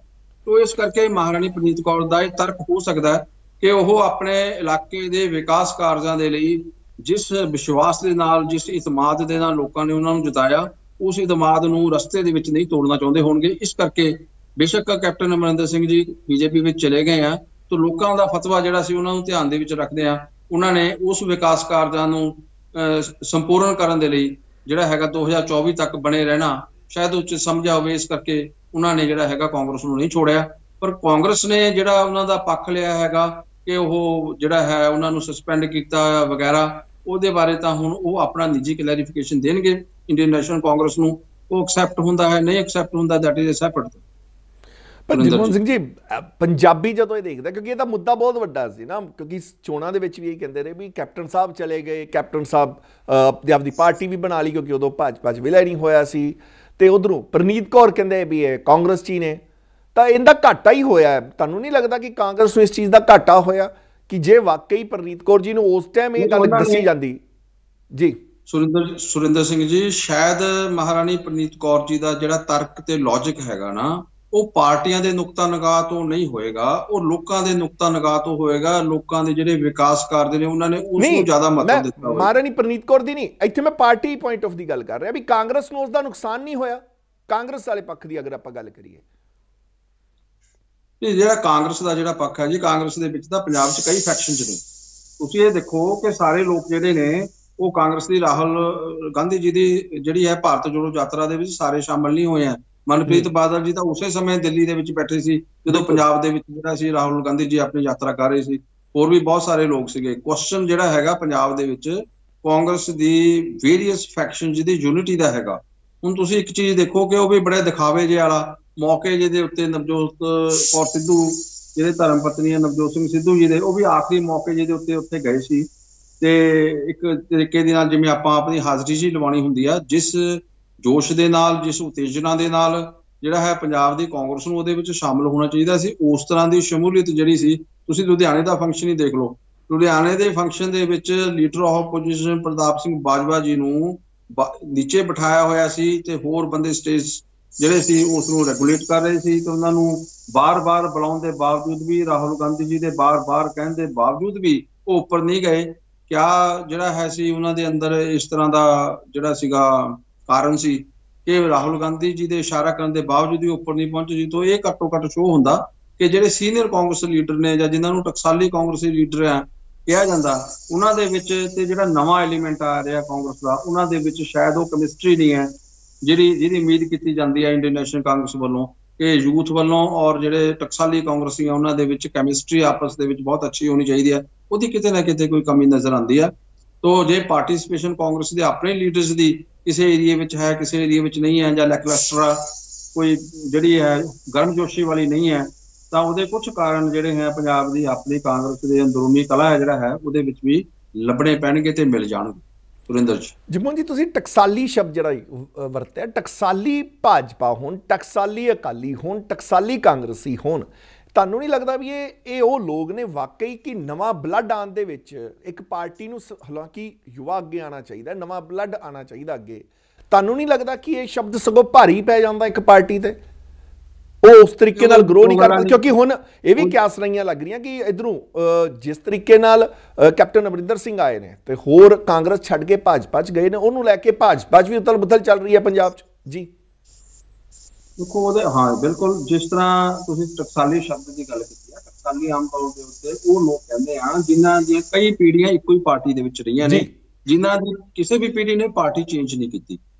ਤੇ ਉਹ ਆਪਣੇ ਆਪ ਨੂੰ ਟਕਸਾਲੀ ਕਾਂਗਰਸੀ ਕਹਿੰਦੇ ਆ ਤੁਹਾਡੀ ਗੱਲ ਬਿਲਕੁਲ ਠੀਕ ਹੈ ਉਹਨਾਂ ਦਾ ਕੋਈ ਮੋਨੋਪੋਲੀ ਰਾਈਟ ਨਹੀਂ ਹੈ ਜਿਹੜੇ ਨਵੇਂ ਲੋਕ ਨੇ ਜਿਹੜੇ ਨਵੇਂ ਬੱਚੇ ਆ ਰਹੇ ਆ ਨੌਜਵਾਨ ਆ ਰਹੇ ਆ ਇਹ ਇੱਕ ਤਰੀਕੇ ਦਾ ਆਪਸ ਦੇ ਵਿੱਚ ਇਹਨਾਂ ਦਾ ਲਰਨਿੰਗ ਪ੍ਰੋਸੈਸ ਸੀਗਾ। ਕਿ ਜਿਹੜੇ ਇਹ ਪੁਰਾਣੇ ਕਾਂਗਰਸੀ ਆ ਜਾਂ ਟਕਸਾਲੀ ਕਾਂਗਰਸੀਆਂ ਇਹ ਨਵੀਂ ਜਿਹੜੀ ਜਨਰੇਸ਼ਨ ਆ, ਉਹਨੂੰ ਗਰੂਮ ਕਰਨ ਉਸ ਨੂੰ ਸਿੱਖਿਆ ਦੇਣ ਉਸ ਨੂੰ ਆਪਣੇ ਰਸਤੇ ਦੇ ਉੱਤੇ ਸੈਕੂਲਰਿਜ਼ਮ ਦੇ ਉੱਤੇ ਜੋ ਸਿਧਾਂਤ ਨੇ ਇੰਡੀਅਨ ਨੈਸ਼ਨਲ ਕਾਂਗਰਸ ਦੇ ਕਨਸਟੀਟਿਊਸ਼ਨ ਦੇ, ਉਹਨਾਂ ਨੂੰ ਸਾਰੀ ਜਿਹੜੀ ਹੈਗੀ ਆ, ਉਹਨਾਂ ਦੇ ਟ੍ਰੇਨਿੰਗ ਪ੍ਰੋਗਰਾਮਸ ਲਗਾਉਣ, ਇਹਨਾਂ ਦੇ ਵਿੱਚ ਤਾਲਮੇਲ ਹੋਵੇ। ਉਹ ਤਾਲਮੇਲ ਦੀ ਕਮੀ ਜਿਹੜੀ ਹੈ ਪੁਰਾਣੇ ਕਾਂਗਰਸੀਆਂ ਦੀ ਤੇ ਯੂਥ ਕਾਂਗਰਸ ਉਹਦੇ ਵਿੱਚ ਕੁਝ ਕਮੀ ਹੈਗੀ ਆ ਜਾਂ ਉਹਨਾਂ ਦੀ ਕੈਮਿਸਟਰੀ ਦੇ ਵਿੱਚ ਕੁਝ ਕਮੀ ਹੈਗੀ ਆ। ਦੇਖੋ ਕਮੀ ਇਹ ਨਹੀਂ ਕਿ ਕਿਉਂਕਿ ਆਪਣੀ ਲੈਗੇਸੀ ਚਲਾਉਣਾ ਚਾਹੁੰਦੇ ਨੇ ਕਿਤੇ ਨਾ ਕਿਤੇ ਇਹ ਲੱਗਦਾ ਕਿ ਮੇਰਾ ਪੁੱਤ ਆਵੇ ਮੇਰੀ ਧੀ ਆ। ਜੇ ਪਰ। ਹੋਰ ਕੋਈ ਬਾਹਰ ਦਾ ਨਾ ਆਵੇ। ਬਿਲਕੁਲ ਸਹੀ ਕਹਿ ਰਹੇ ਹੋ ਤੁਸੀਂ। ਇਹ ਜਿਹੜੀ ਨੀਤੀ ਹੈਗੀ ਹੈ ਇਹ ਕਾਂਗਰਸ ਦੇ ਜਿਹੜੇ ਆਉਣ ਵਾਲੇ ਸਮੇਂ ਦੇ ਵਿੱਚ ਇਹਦਾ ਭਵਿੱਖ ਤੈਅ ਕਰੇਗੀ।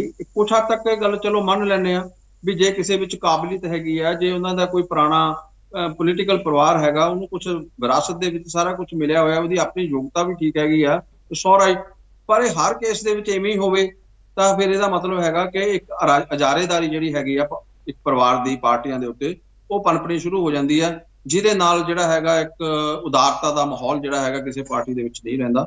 ਸਿਮਿਲਰਲੀ ਜਿਹੜਾ ਹੈਗਾ ਦੂਸਰੀਆਂ ਪਾਰਟੀਆਂ ਦੇ ਵਿੱਚ ਵੀ ਇਸ ਤਰ੍ਹਾਂ ਹੋਏਗਾ। ਤਾਂ ਮੈਂ ਇਹ ਗੱਲ ਕਹਿ ਰਿਹਾ ਵੀ ਜਿਹੜਾ ਸੰਗਮ ਹੈਗਾ ਨਾ, ਪੁਰਾਣੀ ਪ੍ਰਤਿਭਾ ਦਾ ਤੇ ਨਵੀਂ ਯੋਗਤਾ ਦਾ ਉਹਨਾਂ ਦੀ ਕੈਮਿਸਟਰੀ ਆਪਸ ਦੇ ਵਿੱਚ ਜਿਹੜੀ ਪਾਰਟੀ ਬਿਹਤਰ ਢੰਗ ਦੇ ਨਾਲ ਬਣਾ ਲੇਗੀ ਉਹ ਪਾਰਟੀ ਜਿਹੜੀ ਹੈਗੀ ਆ ਜ਼ਿਆਦਾ ਸਸ਼ਕਤ ਢੰਗ ਦੇ ਨਾਲ ਚੋਣਾਂ ਦੇ ਵਿੱਚ ਤੇ ਲੋਕਾਂ ਦੀ ਸੇਵਾ ਕਰਨ ਵਿੱਚ ਸਹਿਯੋਗ ਜਿਹੜੀ ਆ ਉਹ ਕਰ ਸਕੇਗੀ। ਬਿਲਕੁਲ ਕਿਉਂਕਿ ਜਗਮੋਹਨ ਜੀ ਆ ਹੁਣੇ ਪਿੱਛੇ ਇੱਕ ਚੈਨਲ ਤੇ ਇੰਟਰਵਿਊ ਦਿੰਦੇ ਹੋਏ ਆ ਭਾਜਪਾ ਦੇ ਕੇਂਦਰ ਦੇ ਬੁਲਾਰੇ ਸੀਗੇ ਸੁਦਾਂਸ਼ੂ ਮਿੱਤਲ। ਸੁਦਾਂਸ਼ੂ ਜੀ ਕਹਿੰਦੇ ਕਹਿੰਦੇ ਦੇਖੋ ਜਿਹੜੇ ਕਾਂਗਰਸੀ ਛੱਡ ਕੇ ਗਏ ਉਹਨਾਂ ਦਾ ਹਾਲ ਦੇਖੋ। ਤੇ ਜਿਨ੍ਹਾਂ ਨੇ ਭਾਜਪਾ ਛੱਡੀ ਉਹਨਾਂ ਦਾ ਹਾਲ ਦੇਖੋ ਉਹ ਗਲਤ ਤਰਕ ਸੀਗਾ ਹਾਲਾਂਕਿ। ਉਹਨਾਂ ਨੇ ਕਿਹਾ ਕਿ ਕਾਂਗਰਸ ਨੂੰ ਛੱਡਿਆ ਐਨਸੀਪੀ ਬਣੀ। ਤੁਸੀਂ ਦੇਖੋ ਸ਼ਰਦ ਪਵਾਰ ਕਿੰਨੇ ਕੱਦਾਵਾਰ ਨੇਤਾ ਨੇ। ਆਪਦਾ ਹੋਲਡ ਰੱਖਿਆ। ਮਮਤਾ ਬੈਨਰਜੀ ਕਾਂਗਰਸੀ ਛੱਡ ਕੇ ਜਾਂਦੇ ਨੇ ਤੇ ਆਪਦਾ ਉਹ ਇੱਕ ਹੋਲਡ ਮਤਲਬ ਆਜ਼ਾਦ ਹੁੰਦੇ ਨੇ ਤਾਂ ਮਤਲਬ ਉਹ ਹੋਰ ਸਟਰੋਂਗ ਹੋ ਜਾਂਦੇ ਨੇ। ਤੇ ਜੇ ਤੁਹਾਡੀ ਗੱਲ ਠੀਕ ਹੈ, ਜੇ ਕਹਿੰਦੇ ਕਹਿੰਦੇ ਭਾਜਪਾ ਭਾਜਪਾ ਤੋਂ ਜਿਵੇਂ ਛੱਡਿਆ ਉਹਨਾਂ ਨੇ ਕਹਿੰਦੇ ਭਾਜਪਾ ਤੋਂ ਅਕਾਲੀਆਂ ਨੇ ਅੱਡ ਹੋਏ ਤੁਸੀਂ ਅਕਾਲੀਆਂ ਦਾ ਹਾਲ ਦੇਖੋ ਸ਼ਿਵ ਸੈਨਾ ਅੱਡ ਹੋਈ ਕਹਿੰਦਾ ਉਹਨਾਂ ਦਾ ਹਾਲ ਦੇਖ ਲਓ ਉਹ ਤਾਂ ਕਹਿੰਦੇ ਵੀ ਜਿਹੜੇ ਜਿਹੜੇ ਭਾਜਪਾ ਤੋਂ ਦੂਰ ਗਏ ਨੇ ਤਾਂ ਸਾਡਾ ਉਹਨਾਂ ਦਾ ਵਜੂਦ ਖਤਮ ਹੋਇਆ ਤੇ ਜਿਨ੍ਹਾਂ ਨੇ ਕਾਂਗਰਸ ਛੱਡ ਕੇ ਅਲੱਗ ਹੋਏ ਨੇ ਉਹਨਾਂ ਦਾ ਵਜੂਦ ਬਣਿਆ। ਗਲਤ ਤਰਕ ਸੀਗਾ ਜਿਸ ਤਰਕ ਨਾਲ ਉਹ ਗੱਲ ਕਰ ਰਹੇ ਸੀ। ਜੀ। ਦੇਖੋ ਸ਼ਰਦ ਪਵਾਰ ਜੀ ਅਗਰ ਕਾਂਗਰਸ ਛੱਡ ਕੇ ਗਏ ਆ ਉਹਦਾ ਨੁਕਸਾਨ ਮਹਾਰਾਸ਼ਟਰ ਦੇ ਵਿੱਚ ਕਾਂਗਰਸ ਨੂੰ ਵੀ ਹੋਇਆ। ਇਹ ਨਹੀਂ ਹੈ ਵੀ ਸ਼ਰਦ ਪਵਾਰ ਜੀ ਜਿਹੜੇ ਹੈ ਉਹ ਰਾਸ਼ਟਰੀ ਕੱਦਾਵਰ ਦੇ ਨੇਤਾ ਸੀਗੇ ਤੇ ਉਹ ਖੇਤਰੀ ਪੱਧਰ ਦੇ ਉੱਤੇ ਰਹਿ ਗਏ। ਠੀਕ ਹੈ ਗੱਲ ਇਹ ਹੋ ਗਈ। ਪਰ ਇਹਦੇ ਨਾਲ ਨਾਲ ਕਾਂਗਰਸ ਦਾ ਮਹਾਰਾਸ਼ਟਰ ਦੇ ਵਿੱਚ ਕੀ ਹੋਇਆ? ਸਿਮਿਲਰਲੀ ਬੰਗਾਲ ਦੇ ਵਿੱਚ ਕਾਂਗਰਸ ਦਾ ਕੀ ਹੋਇਆ। ਯੂਪੀ ਦੇ ਵਿੱਚ ਕਾਂਗਰਸ ਦਾ ਕੀ ਹੋਇਆ? ਦੇ ਕੱਦਾਵਰ ਨੇਤਾ ਸੀਗੇ। ਉੱਥੇ ਤਾਂ ਜਿਹੜੇ ਹੈਗੇ ਨੇ ਜੇ ਇਸ ਤਰ੍ਹਾਂ ਨਾਲ ਆਪਾਂ ਦੇਖਾਂਗੇ ਨਾ ਫਿਰ ਇਹ ਜਿਹੜੀ ਡਾਈਸੈਂਸ਼ਨ ਹੁੰਦੀਆਂ ਨੇ ਇਹਨਾਂ ਡਾਈਸੈਂਸ਼ਨ ਦਾ ਦੋਨੇ ਸਾਈਡਾਂ ਦੇ ਉੱਤੇ ਨੁਕਸਾਨ ਹੁੰਦਾ। ਪਾਰਟੀ ਨੂੰ ਵੀ ਹੁੰਦਾ ਉਸ ਵਿਅਕਤੀ ਨੂੰ ਵੀ ਹੁੰਦਾ। ਇਸ ਕਰਕੇ ਉਹ ਖੇਤਰੀ ਪਾਰਟੀਆਂ ਦੇ ਵਿੱਚ ਆ ਜਾਂਦੇ ਆ। ਤੇ ਖੇਤਰੀ ਪਾਰਟੀ ਸ਼੍ਰੋਮਣੀ ਅਕਾਲੀ ਦਲ ਆ, ਉਹਦੀ ਗੱਲ ਆਪਾਂ ਕਰਦੇ ਆ ਉਹ ਕੱਲੀ ਬੀਜੇਪੀ ਦੇ ਤੇ ਸ਼੍ਰੋਮਣੀ ਅਕਾਲੀ ਦਲ ਦੇ ਆਪਸ ਦੇ ਵਿੱਚ ਅੰਤਰ ਦੇ ਨਾਲ ਨਹੀਂ ਸਾਰਾ ਕੁਝ ਹੋਇਆ। ਜਿਹੜਾ ਪੰਥਕ ਏਜੰਡਾ ਸੀਗਾ, ਜਿਹੜੀਆਂ ਬੇਅਦਬੀ ਦੀਆਂ ਘਟਨਾਵਾਂ ਸੀਗੀਆਂ, ਕੁਝ ਹੋਰ ਕਿਸਾਨੀ ਮੁੱਦੇ ਸੀਗੇ, ਇਹ ਚਾਰ ਪੰਜ ਚੀਜ਼ਾਂ ਨੇ ਇਕੱਠੇ ਹੋ ਕੇ ਜਿਹੜਾ ਸੀ ਸ਼੍ਰੋਮਣੀ ਅਕਾਲੀ ਦਲ ਦੀ ਜਿਹੜੀ ਲੀਡਰਸ਼ਿਪ ਸੀ, ਉਸ ਪ੍ਰਤੀ ਆਪਣਾ ਮੋਹ ਜਿਹੜਾ ਸੀ, ਉਸ ਨੂੰ ਘਟਾਇਆ ਜਾਂ ਬੇਮੁਖ ਹੋਇਆ। ਕੱਲੀ ਬੀਜੇਪੀ ਦਾ ਅਸਰ ਨਹੀਂ ਹੈਗਾ ਕਿ ਸ਼੍ਰੋਮਣੀ ਅਕਾਲੀ ਦਲ ਦੋ ਸੀਟਾਂ ਦੇ, ਤਿੰਨ ਸੀਟਾਂ ਦੇ ਉੱਤੇ ਆ ਜਾਊਗਾ। ਐਸੀ ਨਹੀਂ ਕੋਈ ਗੱਲ ਹੈ। ਲੇਕਿਨ ਜਿਹੜੇ, ਜਿਹੜਾ ਉਹਨਾਂ ਦਾ ਵੋਟ ਬੈਂਕ ਸੀ ਆਪਣਾ, ਉਹ ਵੋਟ ਬੈਂਕ ਉਹਨਾਂ ਦੇ ਆਪਣੇ ਮੁੱਦਿਆਂ ਨੂੰ ਠੀਕ ਢੰਗ ਨਾਲ ਉਹਨਾਂ ਨੇ ਹੈਂਡਲ ਨਹੀਂ ਕੀਤਾ। ਇਸ ਕਰਕੇ ਉਹ ਬੇਮੁਖ ਹੋ ਕੇ ਕੁਝ ਆਪ ਪਾਰਟੀ ਨੂੰ ਪਿਆ ਕੁਝ ਦੂਸਰੇ ਲੋਕਾਂ ਨੂੰ ਪੈ ਗਿਆ। ਇਸ ਤਰੀਕੇ ਦੇ ਨਾਲ ਜਿਹੜਾ ਉਹਨਾਂ ਦਾ ਜਿਹੜਾ ਹੈ ਸੀ, ਜ਼ਿਆਦਾ ਜਿਹੜਾ ਸੀ ਉਹਨਾਂ ਨੂੰ ਕੋਰਾ ਲੱਗਿਆ। ਤੇ ਹੁਣ ਵੀ ਉਹ ਇਹ ਆਪਣੇ ਆਪ ਨੂੰ ਸਮਝਦੇ ਆ ਕਿ ਅਸੀਂ ਬੀਜੇਪੀ ਤੋਂ ਬਿਹਤਰ ਪਾਰਟੀ ਹਾਂ। ਲੇਕਿਨ ਬੀਜੇਪੀ ਨੇ ਉਹਨਾਂ ਨੂੰ ਕਾਊਂਟਰ ਕਰਨ ਦੇ ਲਈ ਮਹੱਤਵਪੂਰਨ ਸਿੱਖ ਚਿਹਰੇ ਲਿਆ ਕੇ ਸਾਰੀ ਜਿਹੜੀ ਪੰਜਾਬ ਦੀ ਪੋਲਿਟਿਕਸ ਆ, ਉਹਦੇ ਵਿੱਚ ਇੱਕ ਤਰੀਕੇ ਨਾਲ ਸਟਾਰਮ ਜਿਹੜਾ ਸੀ, ਤੂਫਾਨ ਮਚਾ ਦਿੱਤਾ। ਮੈਂ ਸੁਰਿੰਦਰ ਜੀ ਜਿਹੜੀ ਗੱਲ ਕਰ ਰਿਹਾ ਸੀਗਾ ਕਿ ਪੰਜਾਬ ਦੀ ਬੀਜੇਪੀ ਹੁਣ ਇੱਕ ਸੈਕੂਲਰ ਮੁਹਾਂਦਰੇ ਦੇ ਨਾਲ ਸੈਕੂਲਰ ਆਊਟਲੁੱਕ ਦੇ ਨਾਲ ਤੇ ਪੰਜਾਬ ਦੀ ਜਿਹੜੀ ਡੋਮੀਨੈਂਟ ਸਿੱਖ ਔਰ ਜੱਟ ਵਸੋਂ ਆ, ਉਸ ਦੇ ਚਿਹਰਿਆਂ ਨੂੰ ਮੂਰੇ ਲਿਆ ਕੇ ਜਿਹੜਾ ਹੈਗਾ, ਉਹ ਵੀ ਕੁਝ ਰਾਜਨੀਤੀ ਨੂੰ ਬਦਲਣ ਦੇ ਰਾਹ ਦੇ ਉੱਤੇ ਆ, ਤਾਂ ਕਿ ਸ਼੍ਰੋਮਣੀ ਅਕਾਲੀ ਦਲ ਦਾ ਜਿਹੜਾ ਵੋਟ ਬੈਂਕ ਆ ਉਸ ਨੂੰ ਵੀ ਆਪਣੀ ਝੋਲੀ ਪਾਇਆ ਜਾ ਸਕੇ ਔਰ ਕਾਂਗਰਸ ਦਾ ਜਿਹੜਾ ਵੋਟ ਬੈਂਕ ਆ ਉਸ ਨੂੰ ਵੀ ਕੁਝ ਰਿਡਿਊਸ ਕਰਕੇ ਆਪਣੇ ਜਿਹੜੀ ਆਪਣੀ ਜਿਹੜੀ ਸੱਤਾ ਹੈ, ਆਪਣੀ ਤਾਕਤ ਜਿਹੜੀ ਹੈ ਉਸ ਨੂੰ ਬੜਾਵਾ ਦਿੱਤਾ ਜਾਵੇ। ਕਿਉਂਕਿ ਉਹਨਾਂ ਨੂੰ ਇਹ ਲੱਗਦਾ ਕਿ ਕਾਂਗਰਸ ਨੂੰ ਇਹ ਲੜਾਈ ਬਹੁਤੀ ਲੜ ਨਹੀਂ ਸਕੇਗੀ ਤੇ ਸ਼੍ਰੋਮਣੀ ਅਕਾਲੀ ਦਲ ਵੈਸੇ ਹੀ ਆਪਣੇ ਅਸਤਿਤਵ ਦੀ ਲੜਾਈ ਲੜ ਰਿਹਾ ਤੇ ਅਗਲੀਆਂ ਜਿਹੜੀਆਂ ਚੋਣਾਂ ਨੇ, ਉਹ ਚਾਹੇ 24 ਦੀਆਂ ਨੇ ਤੇ ਚਾਹੇ 27 ਦੀਆਂ ਨੇ, ਉਹ ਇਹ ਸਮਝਦੇ ਨੇ ਕਿ ਇਹ ਲੜਾਈ ਜਿਹੜੀ ਹੈਗੀ ਆ, ਉਹ ਬੀਜੇਪੀ ਦੇ ਵਿੱਚ ਤੇ ਆਪ ਆਦਮੀ ਪਾਰਟੀ ਦੇ ਵਿੱਚ ਹੋਣ ਵਾਲੀ ਹੈ। ਬਿਲਕੁਲ ਜਗਮੋਹਨ ਜੀ, ਜਾਂਦੇ ਜਾਂਦੇ ਸਿਰਫ ਇਸ ਸਵਾਲ ਦਾ ਜਵਾਬ ਜ਼ਰੂਰ ਦੇ ਕੇ ਜਾਣਾ ਕਿ ਤੁਹਾਨੂੰ ਕੀ ਲੱਗਦਾ ਹੈ ਕਿ ਨਵਜੋਤ ਸਿੰਘ ਸਿੱਧੂ ਦਾ ਭਵਿੱਖ ਕਿਵੇਂ ਲੱਗ ਰਿਹਾ ਹੈ? ਕਿ ਜੇਲ੍ਹ ਤੋਂ ਆਉਣ ਤੋਂ ਬਾਅਦ ਕੀ ਨਵਜੋਤ ਸਿੰਘ ਸਿੱਧੂ ਕਿਹੜੇ ਪਾਸੇ ਜਾ ਸਕਦੇ ਨੇ? ਕੀ ਉਹਨਾਂ ਦੀ ਮਨਸ਼ਾ ਹੋ ਸਕਦੀ ਹੈ? ਸਰ, ਦੇਖੋ, ਗੱਲ ਇਹ ਹੈਗੀ ਆ ਕਿ ਉਹਨਾਂ ਦੇ ਕੋਲੇ ਬਹੁਤ ਲਿਮਟਿਡ ਆਪਸ਼ਨਸ ਨੇ। ਸ਼੍ਰੋਮਣੀ ਅਕਾਲੀ ਦਲ ਵਿੱਚ ਉਹ ਜਾ ਨਹੀਂ ਸਕਦੇ ਕਿਉਂਕਿ ਅੰਮ੍ਰਿਤਸਰ ਦੇ ਵਿੱਚ ਜਦੋਂ ਸੰਸਦ ਸੀ, ਉਹਨਾਂ ਦੀ ਲੜਾਈ ਜਿਹੜੀ ਸੀ, ਉਹ ਸ਼੍ਰੋਮਣੀ ਅਕਾਲੀ ਦਲ ਦੇ ਮਜੀਠੀਆ ਸਾਹਿਬ ਦੇ ਨਾਲੇ ਬਹੁਤੀ ਰਹੀ ਹੈ। ਬੀਜੇਪੀ ਦੇ ਵਿੱਚ ਜਦੋਂ ਅਰੁਣ ਜੇਤਲੀ ਜੀ ਨੂੰ ਟਿਕਟ ਦਿੱਤਾ ਗਿਆ, ਉਹਨਾਂ ਨੂੰ ਡਿਨਾਈ ਕੀਤਾ ਗਿਆ, ਉਸ ਤੇ ਉਹਦਾ ਜਿਹੜਾ ਕਟਾਸ ਹੈਗੀ ਆ, ਉਹ ਪੂਰੀ ਤਰ੍ਹਾਂ ਦੇ ਨਾਲ ਉਹਨਾਂ ਦੀ ਮਿੱਟੀ ਨਹੀਂ ਹੈ। ਤੇ moreover captain Amarinder Singh ਨਾਲ ਉਹਨਾਂ ਦੀ ਬਹੁਤੀ ਅੱਛੀ ਨਹੀਂ ਰਹੀ ਹੈ। ਕੈਪਟਨ ਅਮਰਿੰਦਰ ਸਿੰਘ ਜੀ ਅੱਜ ਕੱਲ ਬੀਜੇਪੀ ਦੀ ਜਿਹੜੇ ਨੈਸ਼ਨਲ ਕਾਰਜਕਾਰਨੀ ਆ, ਉਸ ਦੇ ਵਿੱਚ ਨੇ, ਤੇ ਉੱਥੇ ਕੋਈ ਬਹੁਤਾ ਉਮੀਦ ਨਜ਼ਰ ਨਹੀਂ ਆਉਂਦੀ। ਉਸ ਤੋਂ ਇਲਾਵਾ ਆਪ ਆਦਮੀ ਪਾਰਟੀ ਦੇ ਵਿੱਚ ਕੋਈ ਸਕੋਪ ਨਹੀਂ ਹੈ, ਕਿਉਂਕਿ ਭਗਵੰਤ ਮਾਨ ਜੀ ਕੋਈ ਬਰਾਬਰ ਦਾ, ਕੋਈ ਧਿਰ ਆਪਣੀ ਸਿਰਜ ਲੈਣ ਜਾਂ ਕੇਜਰੀਵਾਲ ਜੀ ਭਗਵੰਤ ਮਾਨ ਦਾ ਕੋਈ ਵਿਕਲਪ ਲੱਭ ਲੈਣ ਜਾਂ ਸਬਸਟੀਟਿਊਟ ਲੱਭ ਲੈਣ ਇਸ ਤਰ੍ਹਾਂ ਦੀ ਕੋਈ ਪ੍ਰੋਬੈਬਿਲਿਟੀ ਨਜ਼ਰ ਨਹੀਂ ਆਉਂਦੀ। ਉਹਨਾਂ ਦੀ ਜਿਹੜੀ ਹੈਗੀ ਆਉਣ ਵਾਲਾ ਸਮਾਂ ਕਾਂਗਰਸ ਦੇ ਵਿੱਚ ਹੀ ਹੈ ਲੇਕਿਨ ਕਾਂਗਰਸ ਦੇ ਵਿੱਚ ਵੀ ਇਹ ਨਜ਼ਰ ਆ ਰਿਹਾ ਕਿ ਬਹੁਤ ਸਾਰੇ ਧੜੇ ਉਹਨਾਂ ਨੂੰ ਐਕਸੈਪਟ ਕਰਨ ਨੂੰ ਤਿਆਰ ਨਹੀਂ ਹੈਗੇ। ਕੁਝ ਇੱਕ ਲੋਕ ਹੀ ਜਿਹੜੇ ਆ ਜਿਨ੍ਹਾਂ ਵਿੱਚ ਸ਼ਾਇਦ ਸ਼ਮਸ਼ੇਰ ਸਿੰਘ ਦੁੱਲੋ ਜੀ ਸੀ ਇੱਕ ਦੋ ਹੋਰ ਵੱਡੇ ਲੀਡਰ ਸੀ ਜਿਹੜੇ ਉਹਨਾਂ ਨੂੰ ਅਹ, ਪਟਿਆਲਾ ਜੇਲ੍ਹ ਦੇ ਵਿੱਚ ਮਿਲਣ ਆਏ ਆ। ਲੇਕਿਨ ਹੋਰ ਬਹੁਤ ਸਾਰੇ ਕਾਂਗਰਸ ਦੇ ਵੱਡੇ ਲੀਡਰ ਉਹਨਾਂ ਨੂੰ ਪਟਿਆਲੇ ਜੇਲ੍ਹ ਦੇ ਵਿੱਚ ਵੀ ਮਿਲਣ ਤੱਕ ਨਹੀਂ ਆਏ ਹੈ। ਤੇ ਨਾ ਹੀ ਜਿਹੜਾ ਹੈਗਾ ਉਹ ਇਹ ਸੋਚਦੇ ਆ ਕਿ ਤੁਹਾਡਾ ਕੀ ਖਿਆਲ ਆ ਕਿ ਅਮਰਿੰਦਰ ਸਿੰਘ ਰਾਜਾ ਵੜਿੰਗੇ ਸੋਚਦੇ ਹੋਣਗੇ ਜੇ ਨਵਜੋਤ ਸਿੰਘ ਸਿੱਧੂ ਜੀ ਬਾਹਰ ਆ ਜਾਣ ਤੇ ਉਹ ਪੰਜਾਬ ਦੇ ਜਿਹੜੇ ਹੈਗੇ ਆ ਪੀਪੀਸੀਸੀ ਦੇ ਪ੍ਰਧਾਨ ਜਿਹੜੇ ਆ ਉਹ ਬਣ ਜਾਣ। ਬਣਿਆ ਹੋਇਆ ਪ੍ਰਧਾਨ ਜਿਹੜਾ ਇਸ ਵੇਲੇ ਆ ਉਹ ਇਹ ਚਾਹੇਗਾ। ਤੋ ਕੈਪ- ਤੋ ਜਿਹੜਾ ਨਵਜੋਤ ਸਿੰਘ ਸਿੱਧੂ ਜੀ ਨੂੰ ਕਾਂਗਰਸ ਦੇ ਵਿੱਚ ਵੀ ਆਪਣੇ ਅਸਤਿਤਵ ਦੀ ਲੜਾਈ ਲੜਨੀ ਪਏਗੀ, ਲੀਡਰਸ਼ਿਪ ਦੀ ਲੜਾਈ ਜਿਹੜੀ ਹੈ, ਅਗਵਾਈ ਦੀ ਲੜਾਈ ਜਿਹੜੀ ਹੈ ਉਹ ਤਾਂ ਬਹੁਤ ਬਾਅਦ ਦੀ ਗੱਲ ਆ।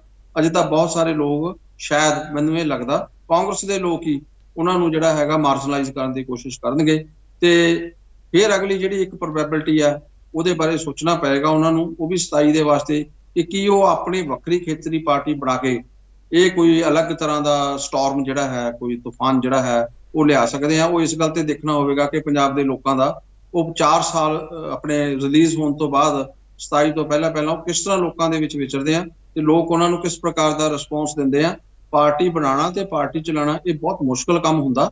ਇਹ ਕਰ ਪਾਉਂਦੇ ਆ ਜਾਂ ਨਹੀਂ ਕਰ ਪਾਉਂਦੇ ਇੱਕ ਇਹ ਆਪਸ਼ਨ ਉਹਨਾਂ ਦੇ ਕੋਲੇ ਆ।